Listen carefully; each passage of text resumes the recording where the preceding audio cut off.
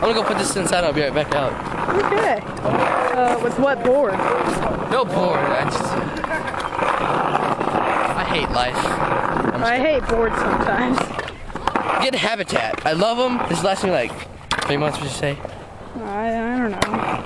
You could see him in action with that board with cleanest hard flip ever on my Or- channel. Or when I ollie over that whole thing right there.